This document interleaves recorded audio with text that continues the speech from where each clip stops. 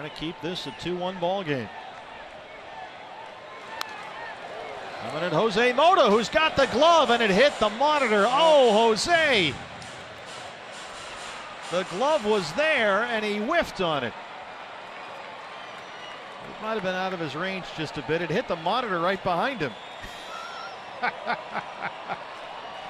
Save the equipment, Jose. Just to our right here at Angels Radio.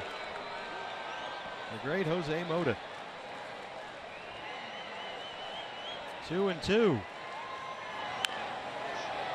Jose Mota probably does not remember it, but when my son Michael was just a little guy, Jose was still a player.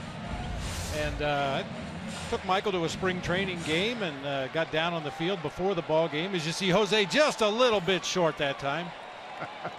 but uh, he saw me on the field with my son Michael and disappeared, went up in the clubhouse for a little while, and came back out later with a brand new glove. Now, he's a second baseman in his playing days. It was one of those little itty bitty second baseman's glove, which was the perfect size for my son at that time.